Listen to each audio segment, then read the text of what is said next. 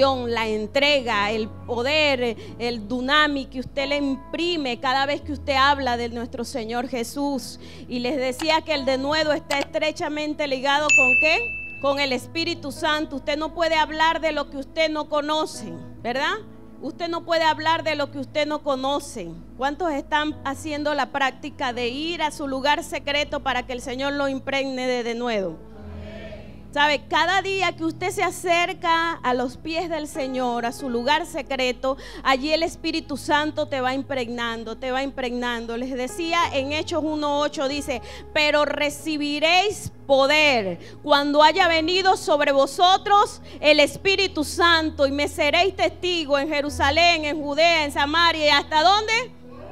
Hasta lo último de la tierra. Entonces quiere decir que el Espíritu Santo nos empodera para salir a hablar de Jesús. Y lo último que le estuve explicando fue compasión. ¿Qué es compasión? Cuando Jesús dice que veía a la gente, la veía con compasión. Y yo les decía que eso viene del original y no le dije que era porque era muy difícil de pronunciar, pero que era que sentía desde las entrañas. Y cuando usted comienza a sentir como Jesús, ya ve a las personas de una manera distinta, ¿sí? Y Jesús veía a las personas, no así con la compasión que nosotros vemos, así, ay, pobrecito, mira lo que está pasando. Y luego se da la vuelta y se va y no le importa lo que suceda más, más tarde. Pero en cambio Jesús cuando sentía compasión, ¿qué pasa? Que él traía a, a las vidas un resultado, él se ocupaba de eso. Por eso les decía en la cartelera que hicimos nueva, que usted la ha visto, ¿verdad que sí? Dice, en la iglesia nos alimentamos y afuera nos multiplicamos. Usted hoy está comiendo, ¿verdad? Para luego ir a multiplicarse, porque nada hacemos en estar aquí reunidos y no nos multiplicamos. Y les decía que el Señor nos hablaba acerca de una parábola de la oveja perdida. ¿Se acuerda? Haga que sea así para que yo agarre ánimo. ¿Se acuerda que yo hablaba acerca de la oveja perdida? Y que el Señor dice que usted era el organizador de la fiesta en el cielo.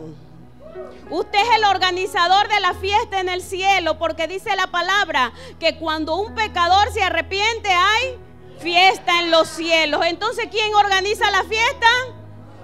Nosotros, porque nosotros abrimos la puerta para que entre las almas a los pies de Cristo. Así que si usted dice, ay, yo no sé qué hacer en la iglesia, no, usted sí sabe qué hacer. Usted es un organizador de fiesta. Amén. Usted es un organizador de fiesta. Entonces, cada vez que nosotros traemos vidas y les predicamos y nos, y nos, invertimos en ellos, cada vez nosotros estamos llevando una fiesta, una rumba en el cielo. Amén. Y que el Señor dice, hay, hay más gozo cuando un pecador se arrepiente que esta reunión que nosotros hacemos.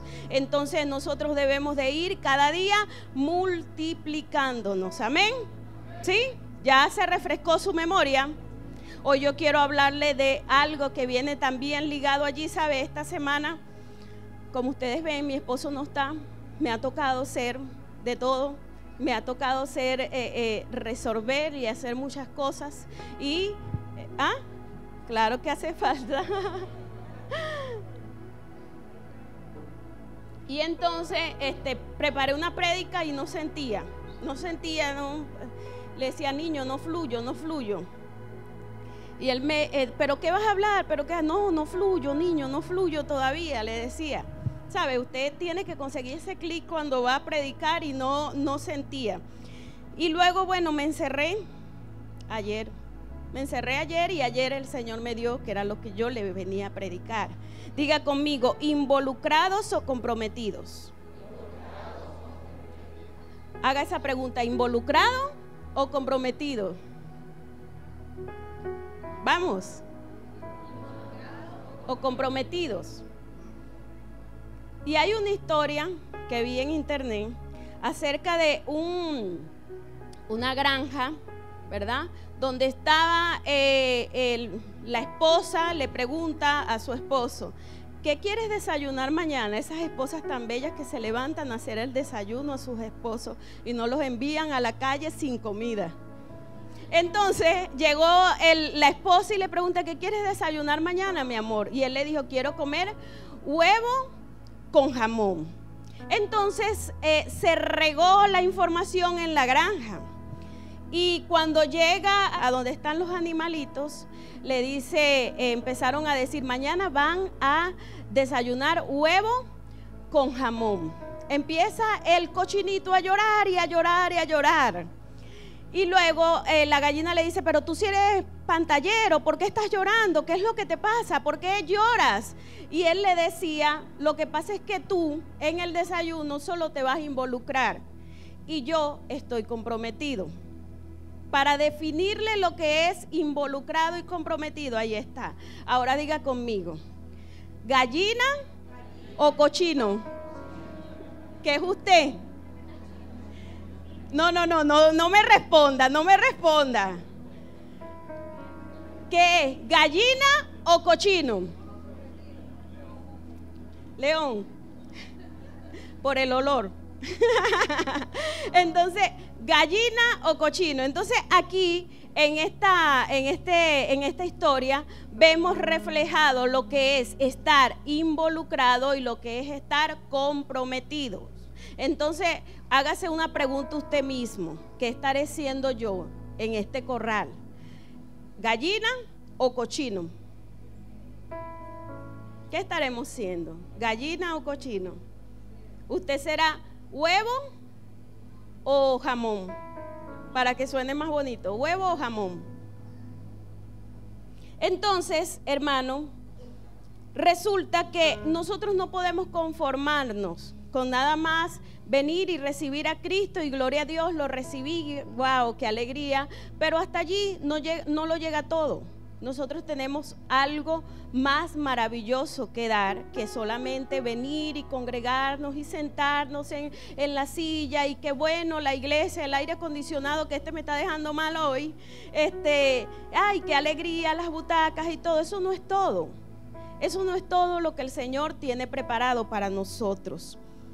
Eh, para llegar a ser jamón, nosotros necesitamos una preparación. Aquí está el hermano Ramón, que hace jamón, el Lucio, Noreli también le mete ahí, que hace jamón necesita una preparación. Y debemos de comprometernos un poco más, de pasar, de involucrarnos simplemente en las cosas del Señor y comprometernos un poco más. Ir la milla extra ir aquello más que el Señor nos, ha llamado. Quiero leerles en Mateo capítulo 8, versículo 18 al 22, dice, Jesús viendo, viéndose rodeado por la multitud, ordenó pasar a la otra orilla del lago. Se le acercó entonces un maestro de la ley y le dijo, maestro, deseo seguirte a donde quiera que vayas. Y Jesús le contestó, las zorras tienen cuevas, las aves nidos, pero el Hijo del Hombre no tiene donde recostar su cabeza. Otro, que era uno de sus discípulos, le dijo, Señor, déjame ir primero a enterrar a mi Padre. Jesús le contestó, sígueme y deja que los muertos entierren a sus muertos. ¿Sabe? Yo me imagino que en ese momento que estaba Jesús allí, veían cómo, cómo habían enfermos sanos, veían cómo estaba en, en, el clima, estaba Jesús allí rodeado de gente, todos lo seguían, qué bueno, qué calidad en ese, en ese momento, todos estaban allí con él y saben, veían su momento de gloria y decía, yo tengo que pertenecer a este momento de gloria. Pero fíjese, nuestro, nuestro Señor que conoce más allá, dice que este maestro de la ley, este hombre que conocía la ley, a lo mejor lo que quería era prestigio. A lo mejor lo que quería seguir a Jesús para, para tener ese prestigio. Mira, yo ando con. Eso es como, como el que es este profeta, el que sana, los que vienen de lejos. Toda la gente quiere rodearlo, quiere estar ahí con ellos porque es un momento de gloria. Pero no saben cuántas veces ha tenido que llorar para llegar a ese momento de gloria. Entonces Jesús enseguida lo ubicó y le dijo: Esto no es tan fácil. Esto no es tan fácil como solamente ir a la iglesia y sentarse allí y esperar que, eh, comer y comer y más nada. Jesús le dijo, mira, las zorras tienen donde estar, las aves tienen su nido, pero yo no tengo donde posar mi cabeza. Enseguida lo ubicó porque conocía muy adentro lo que este hombre quería. El otro le dijo, bueno Señor, déjame que vaya primero y entierre a mi padre. Son esas personas que siempre viven sumergidas en su pasado, siempre están allí sumergidas en su pasado y no lo quieren soltar y no quieren dar la milla extra porque simplemente están sumergidos siempre en lo que hicieron. Yo antes era, era, este, yo me ganaba tantas almas, yo antes hacía esto, eso no eso ya pasó, ya eso es un agua que pasó.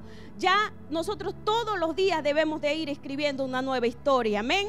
Somos los protagonistas de Hechos 29, porque nosotros debemos de darle continuidad a lo que venían haciendo los discípulos en el libro de Hechos. Ellos iban sanando, ellos iban impregnando ciudades de Jesús. Entonces nosotros tenemos que irle dando continuidad a eso.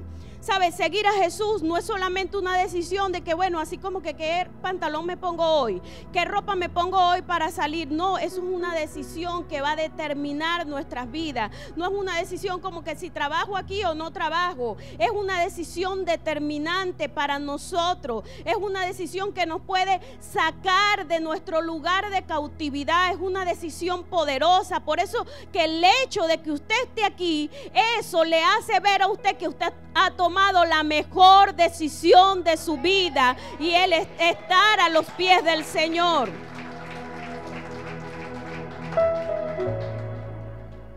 Hay un hombre en la palabra, sabe que yo veo que eh, eh, fue el hombre que Jesús como que le sacó bastantes canas y ese fue Simón Pedro. Fue un hombre que, wow, era fácil para hablar, ¿sabe? Así como cuando uno pregunta, ¿cuántos van a evangelizar? Amén. Y cuando llega el momento, uh, se, se, acaba el ánimo. Pedro era de ese tipo de persona. Jesús se acercó a él y le dijo, sabes, yo te haré pescador de hombre. Y él pensó que hasta allí llegaba la, la, decisión y resulta que él no sabía todo lo que se venía detrás de él cuando él decidió seguir a Jesús. Por eso yo quiero hacerte hoy consciente de que no es solamente el hecho de estar aquí, sino también es nosotros esforzarnos un poquito más, sino es dar un poquito más todos los días. No esperes todos los días orar una, dos, tres horas. Comienza por cinco minutos que eso cada día te vaya acercando. Al día siguiente vas por 10 y así vas y vas a ver cómo poco a poco vamos a ir logrando ir alcanzando lo que el Señor tiene para nosotros. Amén.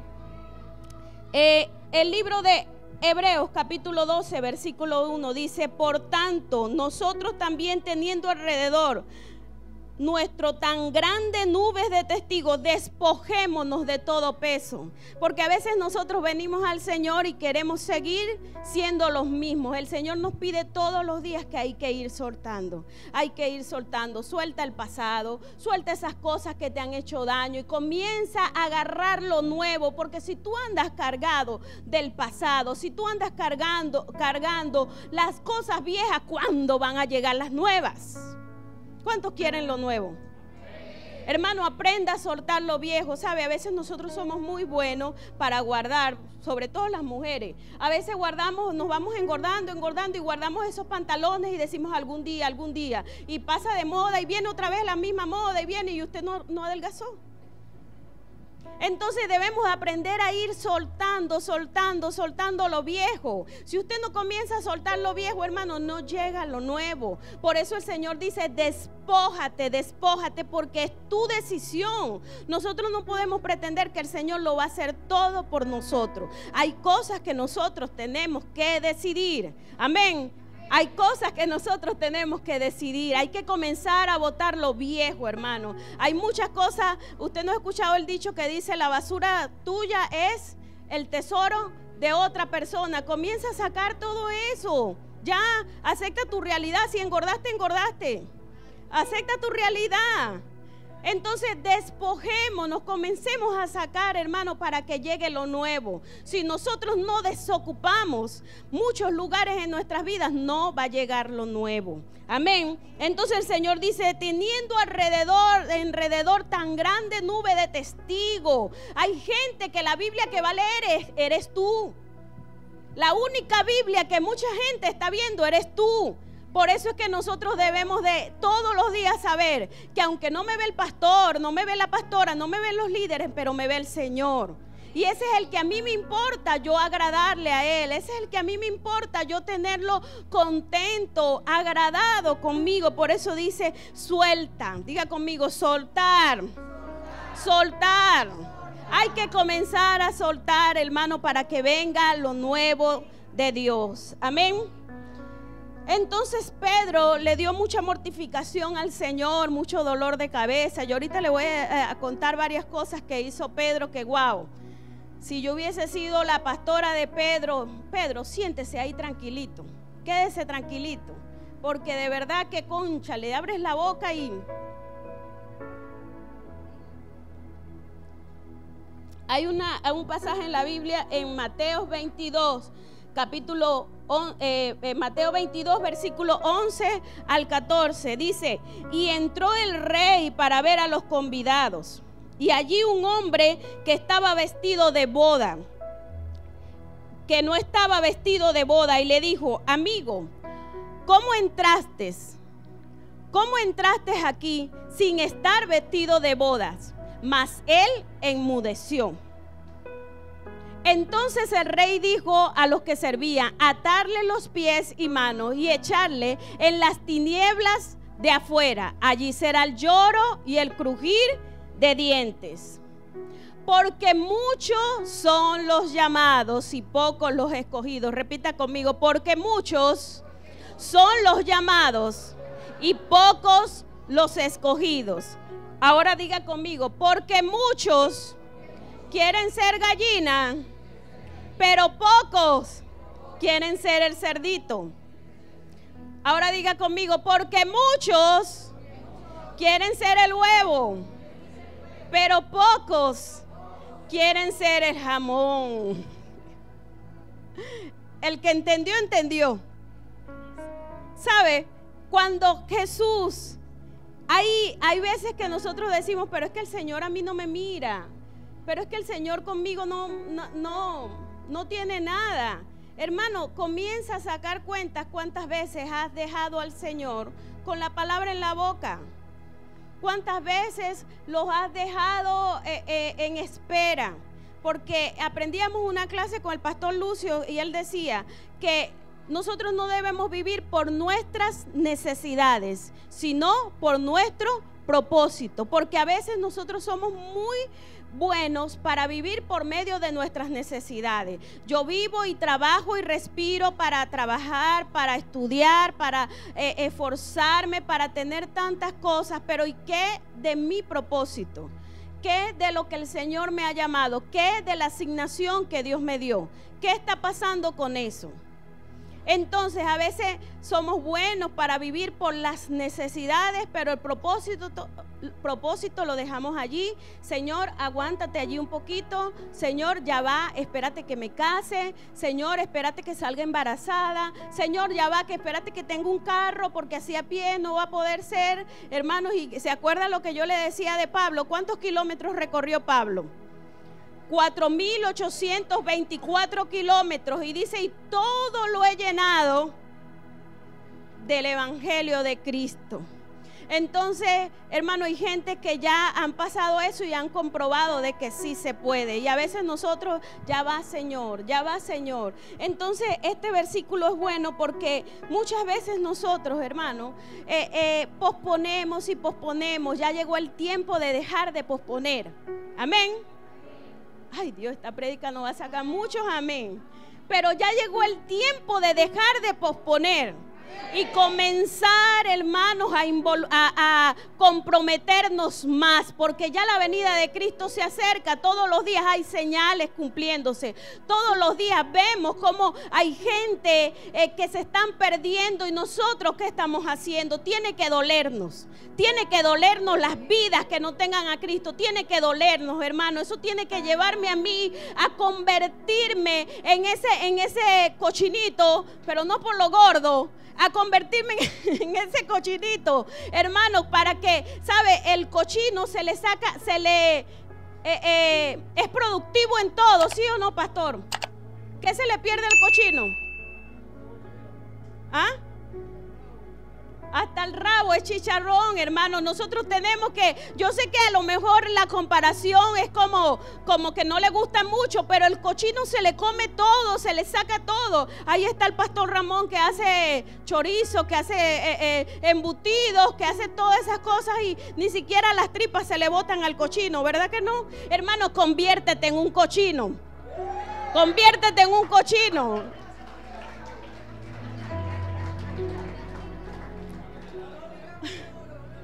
Sabe que el cochino se le come todo. El cochino te da productividad de todo. Hermano, nosotros necesitamos ser productivos para nuestro Señor Jesús. Necesitamos ser productivos para nuestro Rey de Reyes y Señor de Señores. Este hombre de esta escritura quería estar dentro de la fiesta. Quería estar y compartir todo, pero no se alistó. No recibió preparación. Este hombre quería estar allí dentro de la fiesta, pero no se preparó, hermano. Por eso es que venimos diciendo, aquí usted se prepara y afuera se multiplica. Porque usted no se convierta solamente en un cochino, porque aquí absorbe todo y todo y todo y, no, no, no, no le da a nadie. Conviértase usted, hermano, o convirtámonos todos en esa gente productiva que el Señor está llamando. Porque muchos, muchos son los llamados, pero pocos los escogidos, hermano. Y no es porque el Señor tenga favorito. No es porque el Señor diga así, cerró los ojos y Tim Marín de dos pringües y así, y, y va a escoger. No, soy yo la que busco calificar al Señor. Soy yo la que busco calificar. Soy yo la que le digo, Señor, aquí estoy con mis defectos, con mis virtudes, Señor. Pero yo estoy aquí dispuesto a que tú me uses, dispuesto a que tú me tomes, Señor. Yo estoy dispuesto. Dígame usted, si usted fuera el jefe del negocio del Señor Jesús, ¿usted se contrataría? Le repito la pregunta. Si usted fuera el jefe del negocio de Jesús, ¿usted se contrataría? A, veces queremos tener gente eficiente a nuestro alrededor. Si usted tuviera un negocio, usted contrataría a pura gente eficiente. Pero ahora, si usted fuera el jefe, ¿usted se contrataría con la actitud suya?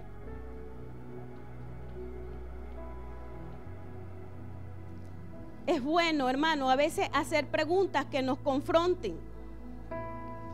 No esperar que venga el Señor y nos haga esas preguntas, sino nosotros hacer preguntas que nos confronten.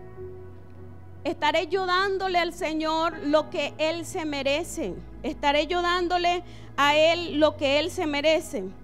Soy, otra pregunta, ¿soy yo el tipo de personas que todo lo suelto? Que solamente trabajo cuando me ve mi jefe. Soy yo ese tipo de persona de que, bueno, hago las cosas porque solo me están viendo y luego salgo corriendo y no importa nada. Es el momento de preguntarnos, ¿quiero seguir involucrada o quiero comprometerme hasta los huesos, hasta los tuétanos? Quiero que el Señor cuente conmigo, que el Señor cuando busque a quién utilizar, diga, aquí está mi hija, diga, aquí está mi hijo, con ese yo me voy a, a todas, con ese yo me enfrento a todo. Aquí está mi hija que está ahí dispuesta. Aquí está mi hijo que está ahí dispuesto. Hermano, por eso involucrado o comprometido. No lo diga. No lo diga, no diga como Pedro que hablaba, Señor, yo te voy a seguir hasta lo último. Y cuando, cuando en, las primeras de cambio lo soltó. No lo digan, accionen. ¿Sabe? Yo les, hay una frase mía, que el diablo se reprende con actitud, porque a veces el diablo no susurra, no puede. Ah, es verdad, no puedo, me quedo. A veces el diablo te susurra, quédate porque estás demasiado cansada, es verdad, no puedo. Pero cuando usted, usted no hace nada con decir, Señor reprenda al diablo y esas palabras se las lleva el viento. ¿Sabe cómo hace usted? Cuando usted dice, el Señor reprenda al diablo con su actitud, me dice que no puedo. Si me visto, me voy, si puedo. Cuando el diablo me dice, no sirves para nada, claro que sí sirvo, mira lo que estoy haciendo y se lo estrego en la cara.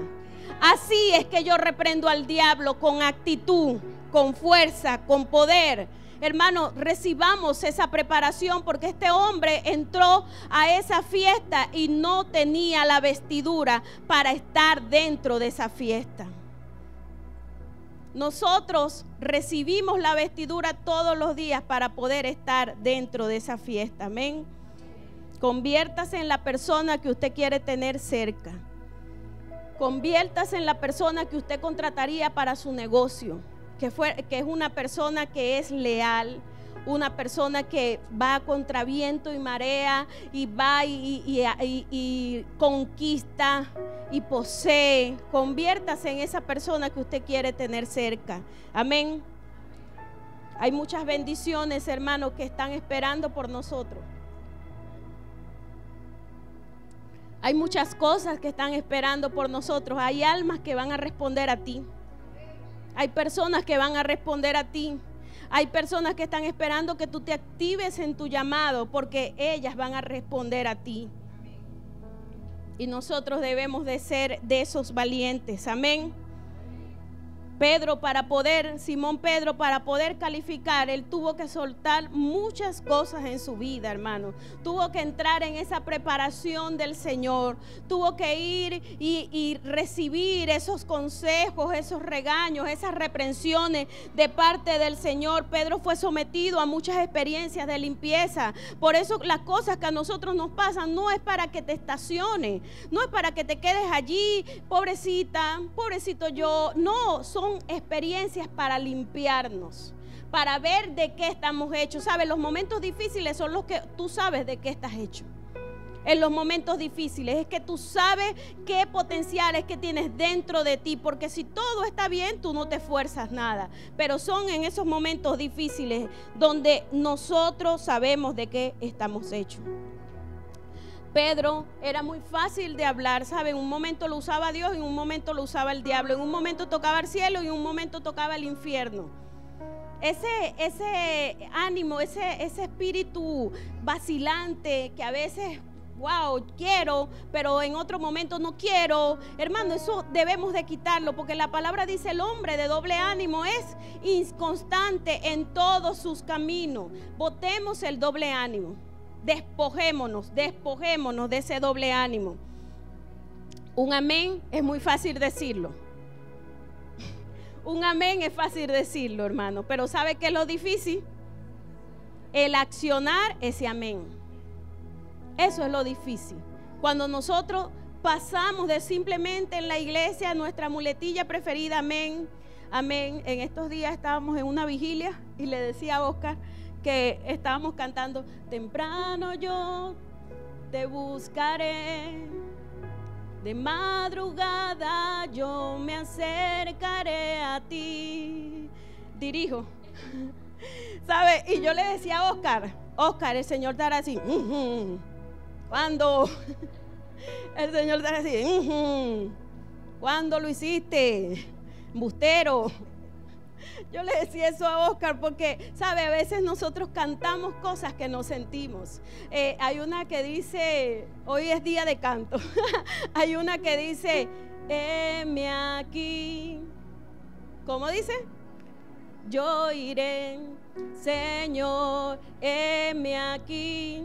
Usted no la quiere cantar, ¿verdad? Yo iré, Señor, envíame a mí que dispuesto estoy. ¿Cuántos los han cantado? ¿Cuántos los han cantado? Y el Señor así, te voy a, te voy a mandar una para ver. Y cuando el Señor te dice, te necesito en tal parte, ay Dios, es que de verdad estoy cansado, es que de verdad no puedo, es que de verdad, mire, Señor, tú entiendes, tú sabes, Señor. Tú sabes todo lo que yo estoy viviendo, tú sabes todo lo que yo estoy pasando, hermano. Eh, esto lo aprendí del pastor Lucio, que él me decía a mí, eh, yo le decía mucho, vamos a cantar tal canción cuando yo dirigía. Vamos a cantar tal canción y me decía, pastora, pero es que esas canciones que, de qué no tienen, que, que no adoraban al Señor. Él me decía, hay que buscar canciones que adoren al Señor. ¿Te acuerdas, Lucio? ¿Te acuerdas? hay que buscar canciones que adoren al Señor, que exalten al Señor. Hay una canción, subiré a la cima, adorar tu nombre. ¿Te acuerdas, Lucio, que me causaba cantar? Y Lucio me decía, pastora, ¿qué estás adorando allí? ¿Qué estás diciendo? Y te haré un altar donde tu Señor puedas morar. Y yo de verdad comencé como que, es verdad, hay que buscar canciones que adoren y que exalten el nombre de Jesús. Hermano, porque es fácil cantarlo, es fácil decirlo, es fácil eh, hacer, eh, eh, tener todas esas dinámicas, pero usted no sabe que es un compromiso que usted está haciendo. Usted no sabe que es, usted tiene poder en sus palabras, que con sus palabras usted se compromete. Entonces ya veremos que cuando estén cantando esas canciones, todo el mundo calladito para no comprometerse más allá. No conozco al hombre. Y enseguida el gallo cantó. Usted se sabe esa historia. Cuando llegaron y le preguntaron a Pedro, tú eres de los que andan con el Señor Jesús, tú eres de los que andan con el Señor Jesús. No, no, no, claro que no. No, no, no, yo no soy de eso. Yo no soy de eso. Entonces, como para que la gente no, no supiera, él maldijo para que dije, ah, no, este no, este no es de los que está con el Señor. ¿Sabe? Porque él un momento podía ser el que recibía la, revelación, pero otro momento podía bajar.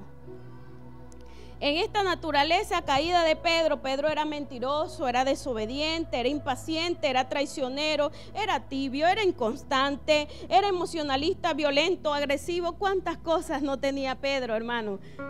¿Cuántos Pedros hay aquí?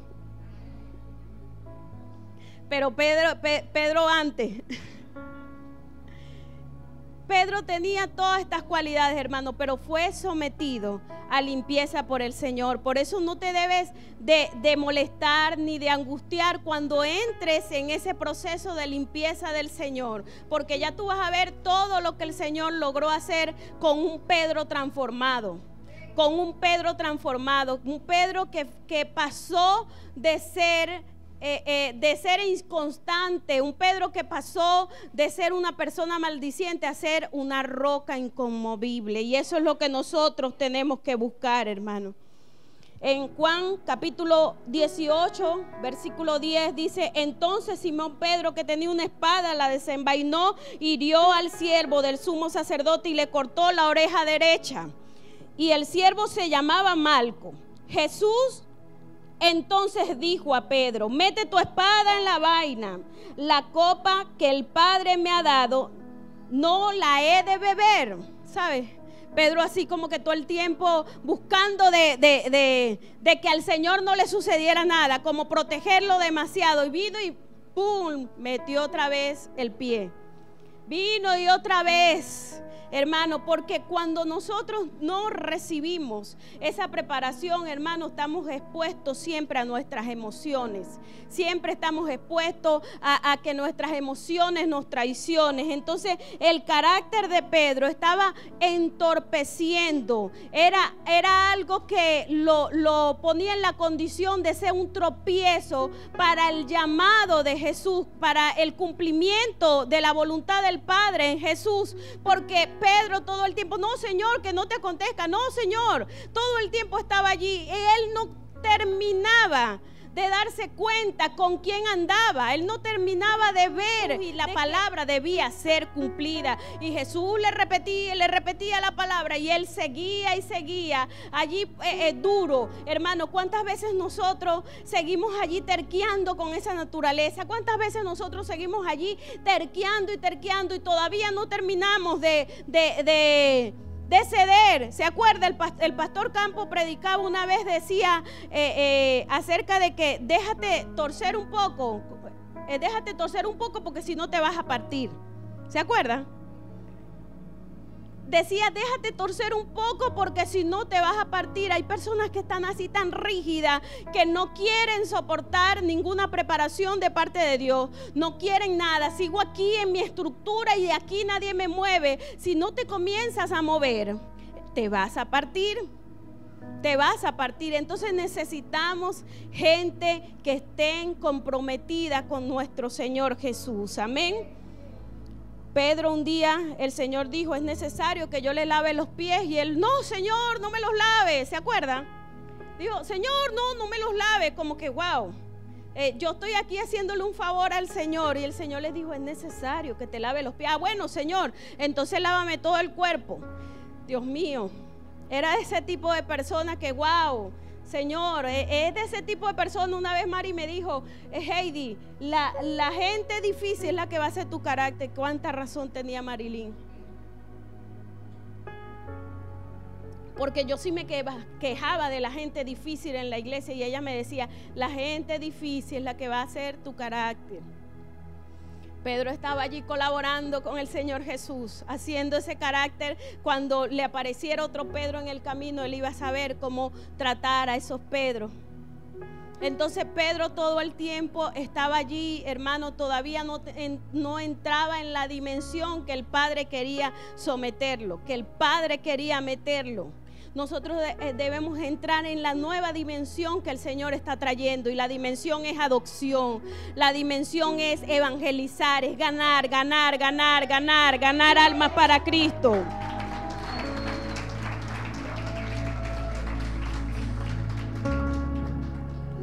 Jesús veía un potencial en Pedro. ¿Cuántos de nosotros hubiésemos desistido de Pedro? Amén. Habíamos desistido de Pedro porque con esos impulsos, con esos arranques que le daban, hubiésemos desistido de él. Pero fíjese, el Señor veía más allá, veía un poco más allá de lo que nuestros ojos naturales pueden ver. Por eso que la gente difícil, hermano, hay que meterle, imprimirle más corazón. A todos los líderes aquí presentes, a la gente difícil hay que imprimirle más corazón porque el Señor estuvo allí con Pedro, con, Pedro, con Pedro, con Pedro. Eh, cada vez él estaba haciendo cosas que no debía y el Señor seguía allí insistiendo. Fíjese que cuando Jesús, cuando hubo la pesca milagrosa, el Señor le dijo, boga mar adentro, echa tus redes. Pedro respondió, maestro, hemos estado toda la noche aquí pescando y no hemos conseguido nada. Y después como que, ah, sí, es verdad, me está hablando el maestro, más en tu nombre echaré la red. Fíjese lo que era Pedro, de ese, eh, de ese cristiano contestón, de que, pero, Santo Padre, de ese cristiano que está ahí, que no quiere terminar de soltar. Y, y el Señor le dijo, Pedro, echa la red, echa la red. Y la red se rompió. Luego vemos, hermano, a mí me llama la atención porque luego vemos cuando Pedro eh, recibió la transformación, el Señor también le dijo en Juan 21, 11, le dijo, eh, Simón Pedro, y sacó la red llena de grandes peces, ciento, 153 y aún siendo tantos, la red no se rompió, pero Pedro en esta ocasión no refunfuñó. Pedro en esta ocasión no habló sino que obedeció. Porque cuando nosotros somos sometidos a esa limpieza de parte del Señor, nosotros somos más dóciles. Como que el Señor te dice algo y tú dices, es verdad, dale Señor. Vamos por aquí, Señor. Sí tienes razón, Señor, porque nos damos cuenta que lo que Él habla es mejor, lo que Él dice es mejor, que nuestras decisiones, hermanos, no son tan, tan certeras como son las del Señor en nuestras vidas. Debemos aprender a confiar en nuestro Dios de que lo que Él decide para nosotros está bien. Jesús confrontaba la naturaleza caída de Pedro. Juan 21, 11 dice, cuando hubieron comido, Jesús dijo a Simón Pedro, Simón, hijo de Jonás, ¿me amas más que estos? Le respondió, sí Señor, tú sabes que te amo. Y él le dijo, apacienta mis corderos. Si usted conoce el resto, el Señor le preguntó en tres ocasiones, Pedro, ¿me amas? Pedro, ¿me amas?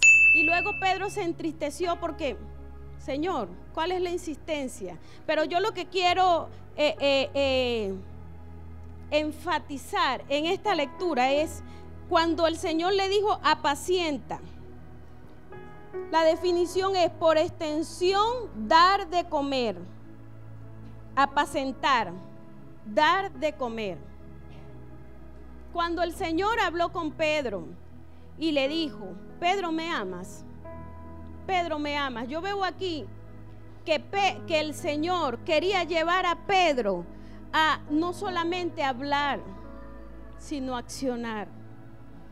Yo veo aquí a Jesús con ese amor, como yo les decía el miércoles, con esa compasión, con ese dolor que salía de las entrañas cuando veía la necesidad.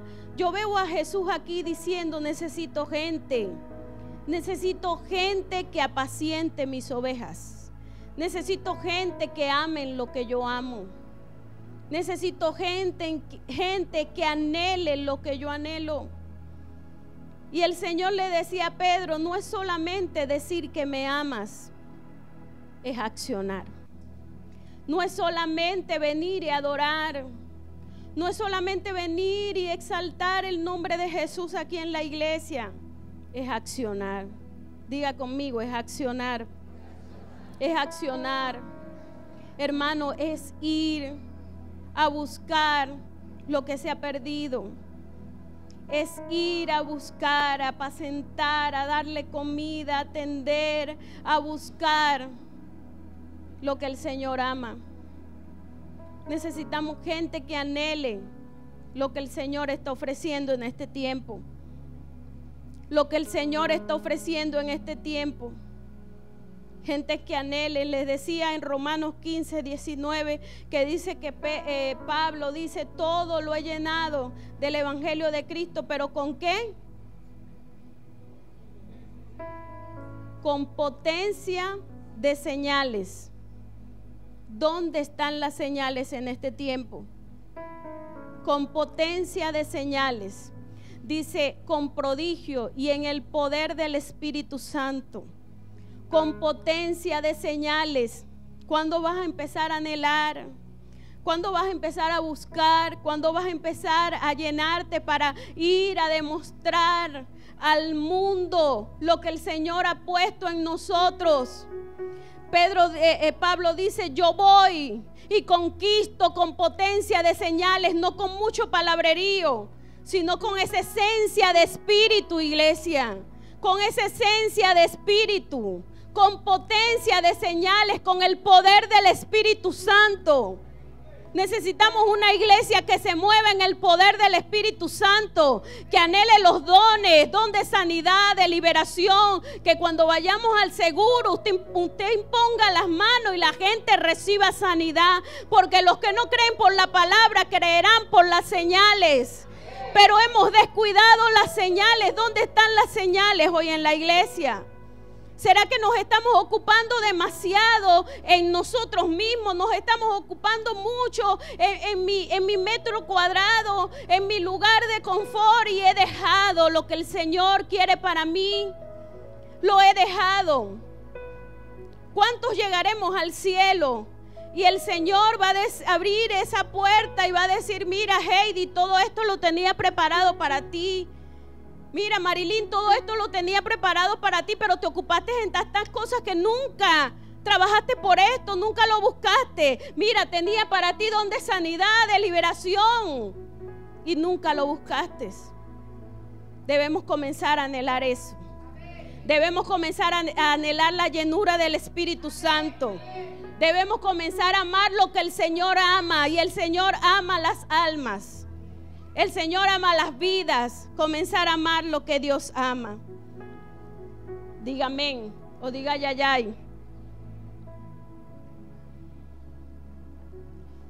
Mateo capítulo 16 versículo 22 dice, Entonces Pedro, tomando aparte, comenzó a reconvenir, Señor, ten compasión de ti mismo, en ninguna cosa esto te acontezca.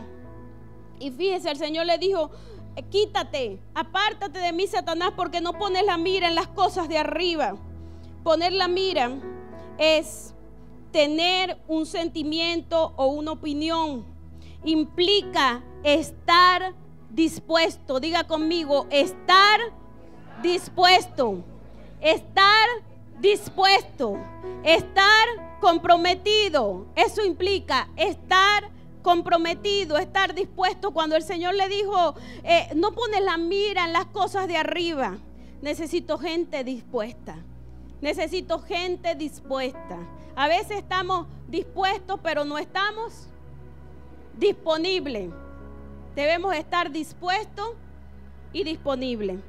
Amén. Entonces, hermano, ¿qué recompensa tengo yo de esforzarme tanto?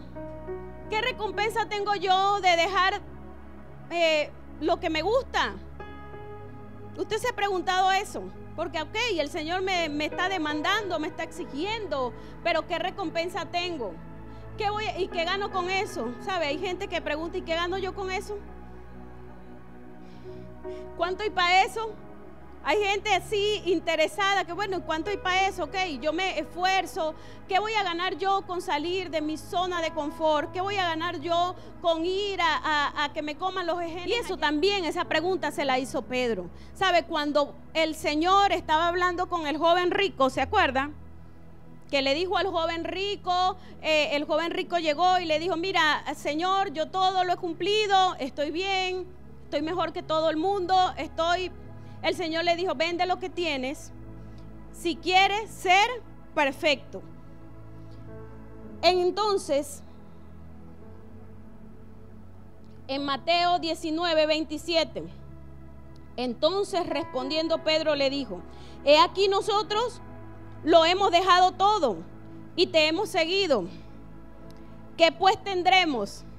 Fíjese Pedro. Como que, bueno, Señor, ah, eh, tú le estás diciendo a este joven rico que lo deje todo, pero yo lo he dejado todo. Yo lo he dejado todo. ¿Cuánto, cuánto hay para eso? ¿Cuánto me voy a ganar?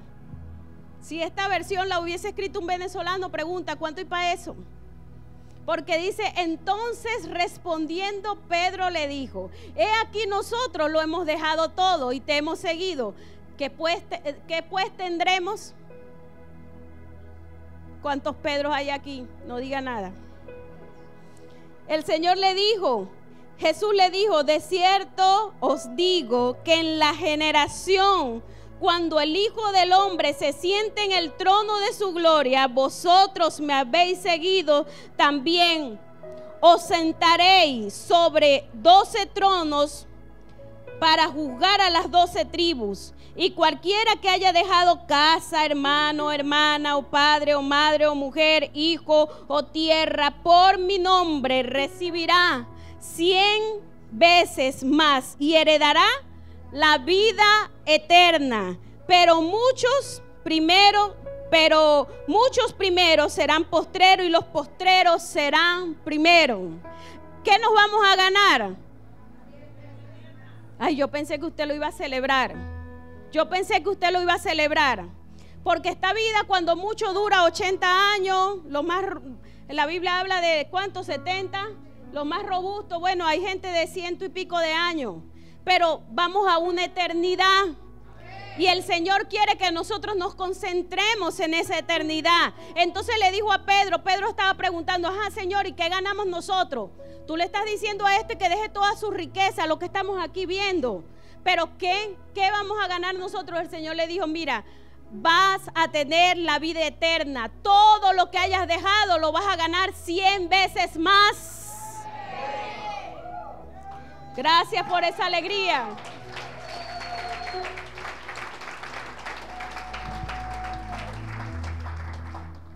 El Señor, en vez de corregir a Pedro como ya estaba acostumbrado a corregirlo, le dijo, bueno, sé que esta pregunta se la está haciendo todo el mundo. Sé que esta pregunta a lo mejor se la está haciendo Cairo. ¿Qué gano yo? ¿Qué gano yo con, si, si por años he sido ese cristiano que está ahí sentado y tranquilo en la iglesia? ¿qué vamos a ganar? ¿Qué vamos a ganar? Vamos a ganar la vida eterna. El Señor hizo una promesa. Todo el que dejare padre, madre, todo eso el Señor va a tener una recompensa para nosotros. Va a tener una recompensa para ti. Vamos a ser recompensados. La palabra dice en Salmos 25, 14, la comunión íntima de Jehová es con los que le temen y a ellos hará conocer su pacto. E, convirtamos, convirtámonos en íntimos del Señor, en los que están allí cerca de Él en los que quieren absorber todo, porque fíjese, después, ¿quién, ¿quién, pasó a ser Pedro? Pedro pasó a ser el que el Señor le dio la revelación, le dijo que era una roca que era una roca. Entonces recibir a veces esos procesos de limpieza de parte de Dios traen recompensa. Traen recompensa porque nos convertimos, hermano, en la respuesta de mucha gente. Nos convertimos en la respuesta de mucha gente, gente que ha pasado situaciones difíciles, tú eres la respuesta de mucha gente. Cuando te le acercas, di, mira, yo también viví, yo también pasé por esto, pero yo soy la prueba de que Cristo vive. Yo soy la prueba de que todo, todo se puede soportar en Él. Yo soy una prueba irrefutable.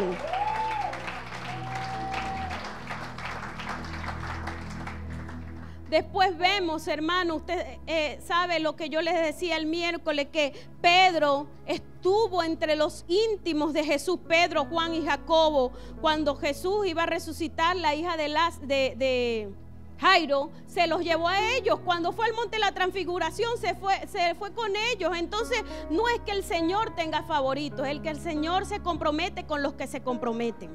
Es que el Señor está allí de la mano con los que están con ellos. Es que el Señor no nos va a dejar a nosotros huérfanos cuando nosotros dejamos tantas cosas por servirle a Él. Cuando nosotros dejamos a veces nuestro lugar de comodidad y nuestro lugar de confort por servirle a Él. Entonces, cuando volvamos a hacernos esta pregunta, ¿estaré yo involucrado comprometido? Hermano, respóndalo con una acción. Respóndalo con una acción. El compromiso me lleva a hacer más de lo que yo puedo pensar. Yo tengo el anillo de compromiso que me dio mi esposo hace 21 años, 21, 22. no sé qué me pasa con la fecha. Ayer la, profesora me preguntaba la edad y 43. Profesora, vaya anotando ahí, yo. Vaya anotando ahí todo lo que estoy haciendo mal. este, hace 22 años me entregó el anillo de compromiso. Y eso me, me ha llevado hasta hoy estar comprometida con Él y guardarme para Él. Tiene ya prácticamente una semana fuera y sigo aquí intacta. Porque el compromiso que hice con Él me lleva a guardarme para Él me lleve a esforzarme por ese compromiso, por ese amor. Hermano, comprométete. Comprométete con el Señor porque Él no te va a dejar mal. Comprométete con el Señor porque vamos a tener una bella garantía. Porque dejar muchas cosas por Él, hermano, no es nada. No es nada comparado con lo que Él nos ofrece. La palabra dice, en su presencia hay plenitud de gozo. ¿Saben? Y a veces nosotros buscamos la plenitud en otras cosas, en el trabajo, en la casa, en los hijos, en el hogar. Cuando la tenemos tan accesible que es la presencia de Dios. Cuando la tenemos tan cerca que es su presencia. Porque la comunión íntima y a él a ellos hará conocer su pacto. Usted puede andar un paso más adelante cuando usted se hace amigo, se hace íntimo con el Señor. Cuando usted se comprometa con Él, Él va a estar allí, porque compromiso arroja compromiso. Compromiso arroja compromiso. Entonces, ¿qué vamos a hacer? ¿Huevo o jamón? ¿Qué vamos a hacer? ¿Gallina o un hermoso cochinito? ¿Qué vamos a hacer? Que podamos pasar hermano, y recorrer esa milla extra. Amén. Inclina tu rostro en esta mañana.